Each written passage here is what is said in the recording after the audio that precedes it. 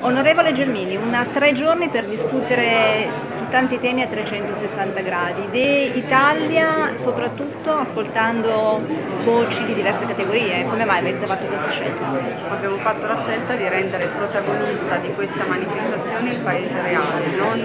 le sovrastrutture della politica, ma il paese reale. Quindi ci è sembrato giusto dare spazio agli artigiani, ai commercianti, agli imprenditori che faticano ad accedere al credito, piuttosto che ai giovani laureati costretti a lavorare in un call center o alle donne che si devono barcamenare e trovare eh, dire, lo spazio per la famiglia, per la cura dei figli, ma anche per lavorare, per potersi mantenere. Quindi insomma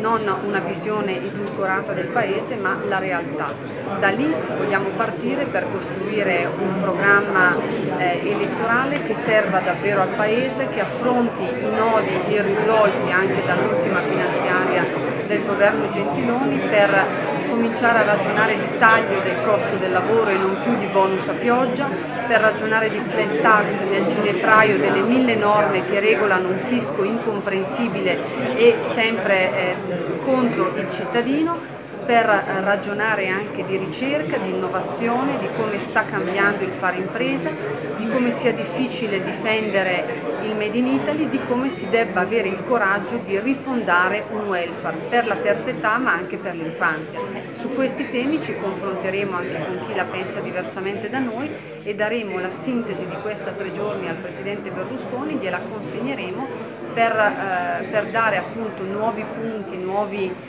eh, punti programmatici per eh, l'albero delle libertà e quindi per il programma del centrodestra delle prossime elezioni. Ecco, eh, il Presidente Berlusconi ha detto che lui sarà comunque in campo e, e diciamo che ha già anche in passato elencato i punti programmatici di quelli che saranno i, i principali eh, punti di Forza Italia per le prossime campagne elettorali, sono un po' quelli che ha elencato lei. Diciamo. Sì, certamente partiremo dal tema della sicurezza che è un molto sentito dai cittadini, dal tema del lavoro, perché non si può ragionare solo di pensioni, prima la ricchezza va creata per essere distribuita e con il 35% di giovani disoccupati c'è poco da stare allegri, si deve cambiare quel dato, come si deve cambiare un dato che è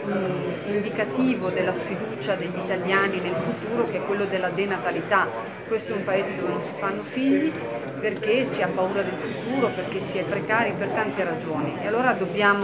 ripensare appunto un welfare a misura di famiglia e da, questo,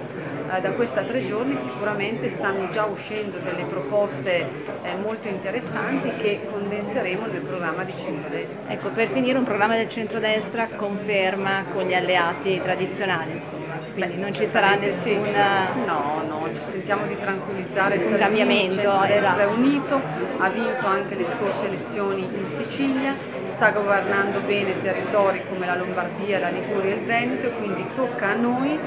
eh, costruire delle basi solide da consegnare al Paese e da eh, consentire quindi agli italiani di poter guardare con un po' di fiducia al futuro.